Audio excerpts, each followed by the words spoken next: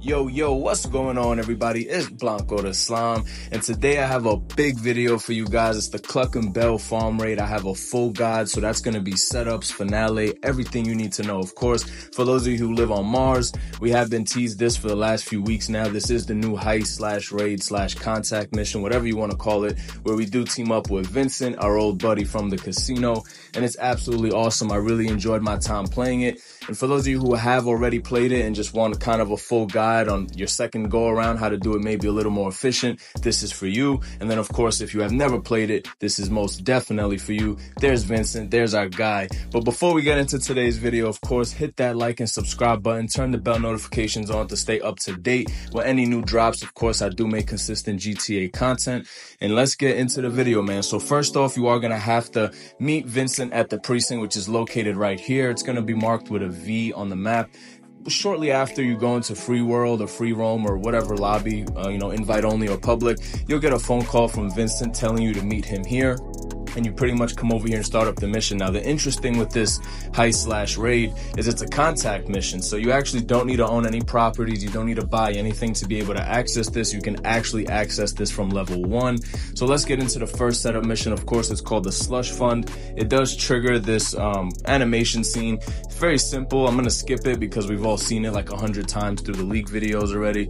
But the first mission is very simple, very easy. You're just gonna take out a few guys, then you're gonna take the money out of these washing machines. To be honest with you, the whole raid is pretty easy and straightforward. I think it's very beginner friendly, and like I mentioned earlier, due to the fact you don't need to own a business to access this, it's definitely beginner friendly. But you're gonna see through this playthrough. It's very easy. Like I said, take out a few guys, extract the money from the washing machines, and that's pretty much it. You're good to go, right?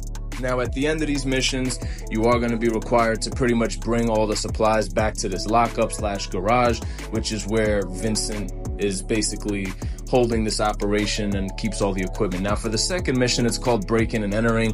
You're gonna have to steal a laptop from this guy on the boardwalk. He's gonna be right here playing on that little arcade game. You can literally just walk up behind him and steal it. Then it's gonna ask you to go to the Terrorbyte. Be careful, these drones are pretty pretty good, man. They were definitely hitting their shots on me and uh, eating my health. I had to snack up a couple times. And sometimes they'll just charge at you and try to explode on you. So you got to take out the drones before you go in the Terrorbyte. It is gonna spawn like eight to ten drones, but again, very simple. Just stay calm, be you know, be be uh, patient, and just take out the drones and then go into the Terrorbyte like I said, very beginner friendly, very easy. It's nothing too complicated about any of these missions. You're gonna steal the hacking device and the same thing like the first mission, you're just gonna go on and take it over to Vincent's garage. Oh, excuse me, before you take it to Vincent's garage, you have to do this awesome train sequence where you pull up on the cartel, you steal a key from one of the soldiers that you kill, and then you're gonna steal this train and ram your way through the train track. So you actually don't have to bring this to the lockup for Vincent. The mission will end while you're in the tunnels. But I thought this mission was pretty cool. I believe this is like the first time we get to drive a train in GTA. So very exciting, very cool, man. This honestly, I really enjoyed my first playthrough of this raid. I will get into the end of the video if I think it's worth it. I'll give my feedback, but that will come later. Next up, we have our weapons and gear. Personally, I went with option B, which is a little bit tougher. It is the professional um, difficulty. I think C is the hardest though. So B's kind of in that middle, middle tier, middle zone but it's still very good, man. Honestly, you don't need to go to C. It's way out in Blaine County. I just went with option B because it has a nice weapon loadout. You get an SMG silence, then like the battle rifle, I believe. You're just gonna clear out a couple guys on this ship. There we go. We got our weapons. Then you're gonna head back upstairs and grab your gear, which is essentially like your bulletproof vest. And like I said, the professional one should be able to get it done. The Cluckin' Bell raid is not that hard. You should be able to get it done relatively easy with just the professional gear. Now, key moment here. If you did collect more than one gear like I did, I went to option A first, which is the bad one though. You don't want to use option A. You have to confirm which weapons and gear you want to use with Vincent through text message. So make sure you confirm your professional or if you use like the military grade, which I think is option C, make sure you confirm it with him. Now, next mission We have the getaway vehicle. I went again with option B, which is the Coil Raiden. It's an electric car, which means it has really good acceleration, which means it's really good at getting away from people, right? So I don't think option C was required here either. I kind of just went with option B for both the weapons and gear and the getaway vehicle. It's very easy. Again, you're just going to go to location, take out a couple guys, hop in the car, use that little ramp to get over the gate, and bring it over to this garage that Vincent sends you the coordinates for during the mission. And then you're just going to leave the garage and then leave the area and mission passed. Now, one thing I did notice, you don't get paid for the setup missions, which kind of sucks, but it is what it is. I still really enjoyed my time playing this raid. Now, this next mission is definitely the most key setup mission out of all of them. It's the most vital and important. It's going to start off with you tailing these two vans. You're going to have to get pretty close behind them, activate the hacking device that we stole in that breaking and entering mission. And once you hack both the vans, you are going to get the coordinates of uh, like a factory where the cartel is. You're also gonna have to kill one of the drivers to be able to take the driver outfit, which is gonna play a big part in being able to do the stealth approach later on. So you wanna make sure you get the Cluckin' Bell outfit from one of the drivers, because if you get caught during this mission and don't wipe the CCTV footage, you will not be able to do the stealth approach. So pretty much just follow my footsteps here. Even if you get caught, it's not that big of a deal because you could just kill everybody in an allotted amount of time and you still will be able to do the stealth approach. But as you can see here, these two trucks are freebies. You won't be in their vision cones. So you could just easily walk up to these first two trucks and just disarm them. Like I said, they are freebies. And like I said, man, this setup mission is the most vital to the entire heist slash raid because it does allow you, it, it determines whether you could do the stealth approach or you gotta go loud.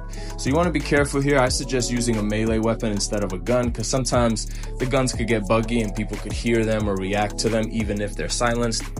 So these two guys here are going to be the key guys. The one working on the truck right here with the purple torch. And then the other guy that was over there to my left. We're going to take them out with a melee weapon. My weapon of choice was a wrench. I almost used the candy cane, but it ain't Christmas no more. So we're just going to use a good old wrench. We're in a mechanic shop, so why not? Bang, right over the head. Now you're going to disarm this truck which these guys are blind, man. They must have adopted the same security guards from the Cayo Perico heist because they're god awful. Now we're gonna head over to the other pal over here, our other pal, who's just, uh, you know, minding his business, working on his truck, but we got things to do. We got a raid to complete. So he's gonna have to take a five pound wrench to the top of the head, man. We're gonna have to give him some brain damage. Here we go. Bang! Have a nice visit to the hospital, sir. Let me, let me, uh, sabotage this truck real quick as he's just glitching through the wheel. Completely mangled him. He got mangled. He didn't get killed. He got mangled. Anyway, Next part is a little bit tricky. I tried to go through the back of the truck and then shortly realized that was not possible. And so you just get behind this like little box right here. Watch out for that other dude because he does walk back and forth. You want to wait till he gets stuck over there and then just come into this office. How you doing, sir? Brain damage. We're just giving out brain damage today. Now you're gonna wipe the CCTV footage. Like I said, this is vital in being able to do the stealth approach. And then once you get out of the office, you are gonna have to take out the remaining officers because we still need to find a key. I don't know what the key's for. There's always some key that you need in these heists and raids, these goddamn keys. But we're gonna find the key. We gotta find the key card. So we gotta finish our uh, endeavor here, our mission.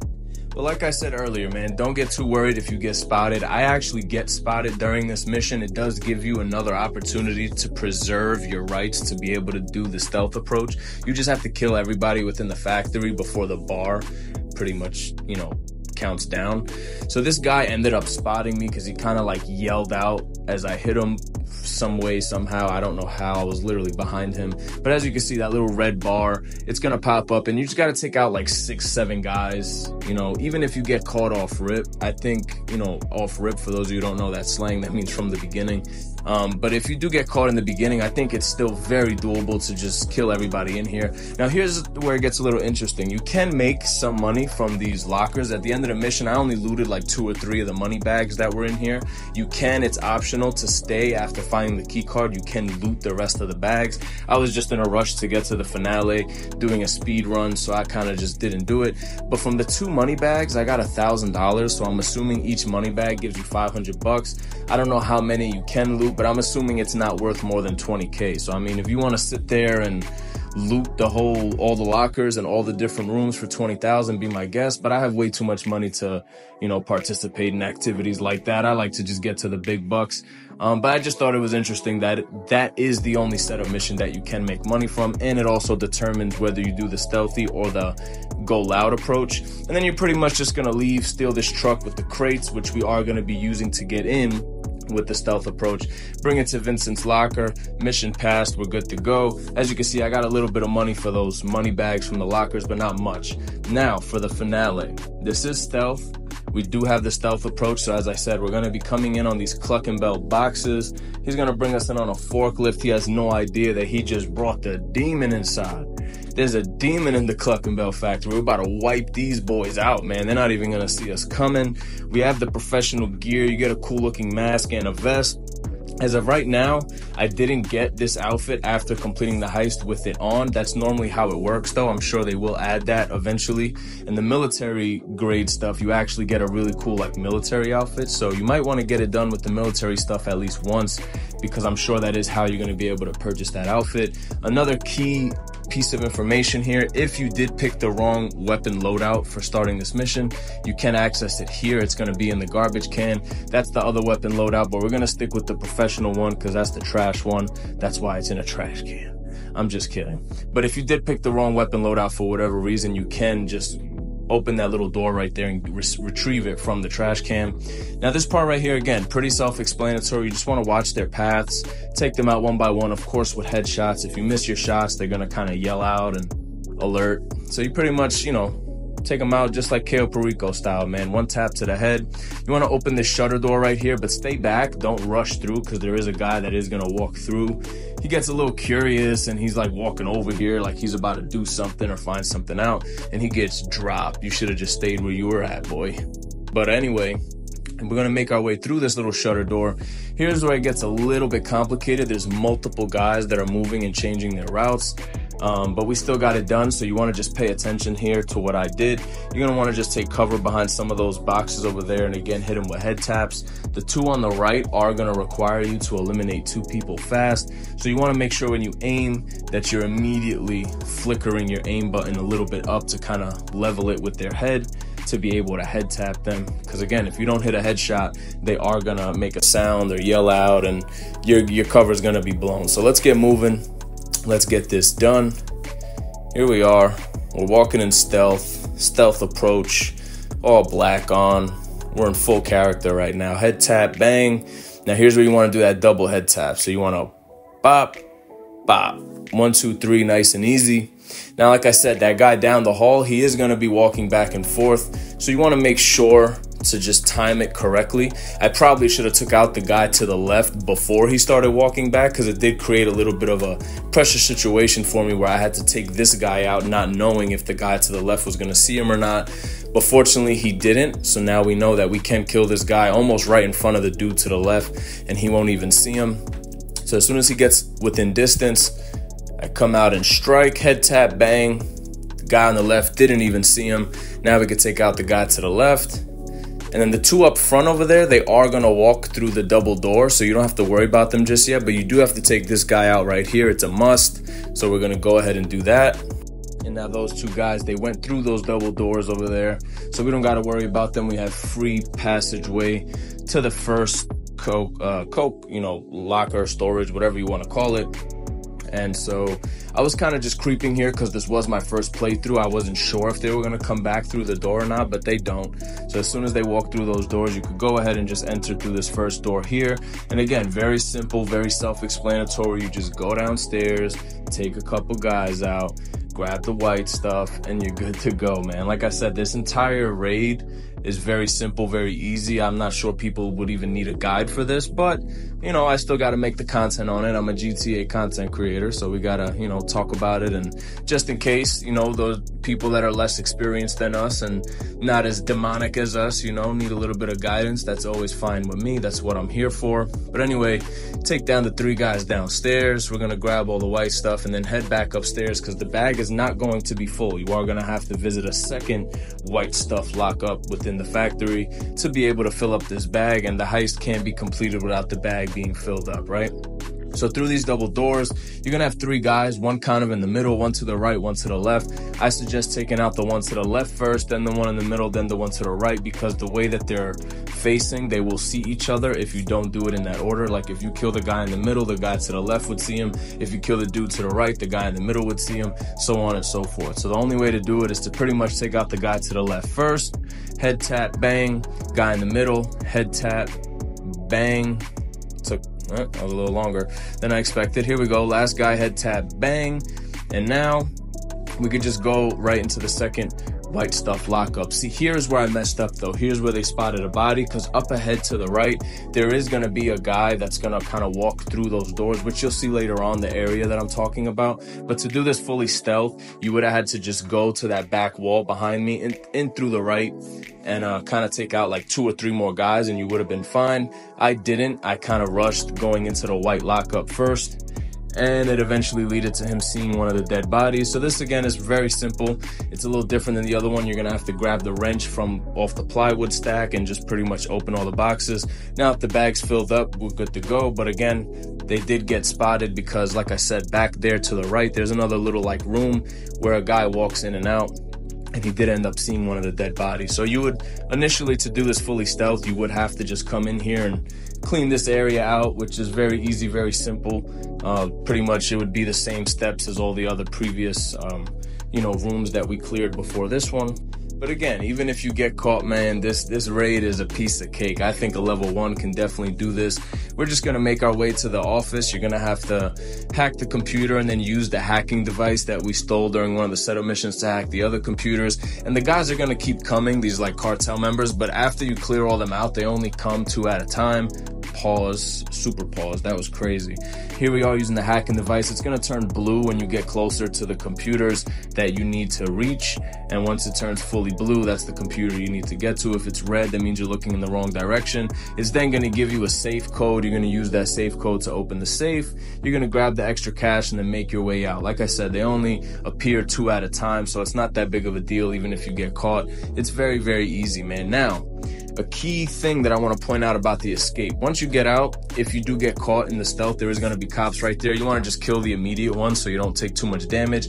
But the Pro Vest does have damage reduction, so you're not going to take too much damage and you're pretty much just going to clear out these cartel guys on the way to the getaway vehicle. Once we get to the getaway vehicle, I do want to point out the GPS is going to tell you to go left. And I saw TTG's video where he did go left, and it's much, much harder. You want to actually make a right and go through Stab City through the tunnels, and it will pretty much get you away from the cops by the time you get out of the tunnels, which you will see what I did later on. That's the route that I took. I, I made a right, I went through Stab City, and then just looped around into the city from there. It's much shorter, much faster. Do not make a left. So here we are, we're in our Tesla, our Coil Raiden modeled after a Tesla.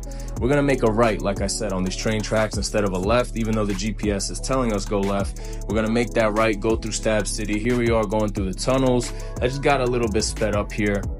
And you'll see by the time I get out through the tunnels, I'm pretty much away from the cops. Now that helicopter up there almost caught me. Watch this. Look at look at that mini map. My car started spinning out because this thing sucks off road, and boom, I lost the cops right as he was about to spot me. And as earlier, very simple. You just bring bring the car back to Vincent's lockup, and it is going to trigger this post scene, the outro scene, whatever you want to call it, the finale scene of the heist, where Vincent pretty much introduces you to the guy that is going to be buying the white stuff off of us. And what do you know? It's the same guy from the Cayo Perico heist. Literally the same dude and and it's just crazy, man. This guy's our best friend. This guy's the reason we're all rich in GTA. I don't know what his name is. I want to call him Jose, but I don't want to get a lot of hate comments for calling him Jose. So I'm just gonna call him the Cayo Perico guy. Anyway, Vincent then shows off to us that he got the new Hellcat police car, which looks absolutely awesome. And of course, completing this also allows us to purchase this car. It does cost $4 million once you complete the heist. If you don't complete the heist and you want to just buy it before doing it, it will cost you, I think, five and a half million. So definitely finish the heist before buying this car. You save one and a half million dollars. And like I said, it is a pretty good looking car. Now, you're gonna see on the screen that it tells me, you know, 500,000 payout. So now some of you are probably wondering, well, why'd you put 850,000 on the thumbnail? You clickbaited me. No, I did not. No, I did not. Blanco does not clickbait. The reason I put 850,000 on the thumbnail is because as you will see once I finish the heist, you do get $250,000 bonus for completing this raid slash heist for the first time. So that brings us to 750,000. And there's also the weekly challenge at the time of this recording. You get $100,000 for completing the, uh, you know, Cluckin' Bell farm raid. So you'll see it right here when I pull out my phone to put my money in the bank. It goes from 500 to 750. And then shortly after the 750, see there you go, 751. We got the 250k bonus, and then immediately as I closed my phone, I got another hundred thousand dollar bonus for the weekly challenge. So your first time running this, you will get $850,000, and anytime after that, it will be just worth 500,000. Now, I did want to give my feedback on whether or not I think that this raid slash heist is worth it. And I will say this, I think for beginner players, it is 100% worth it because it's a contact mission. You could immediately, as soon as jumping in the game with a brand new character, have a way to make $500,000, which is, which is awesome, especially for beginner players. For veteran players, I'd say the first time running it this week where you could make the 850,000, it's semi worth it. But when you take the time into consideration, and this is where it disappoints me a little bit, the time to complete this raid between all the setups and finale is going to be about an hour and a half in some cases two hours, depending how good you are at the game. And as a GTA content creator, I do want to support any DLC Rockstar gives us because I am, of course, grateful, very grateful that they're still adding to the game 10 years later. But I also have to be honest. I have to be honest with my viewers, my community, and my subscribers.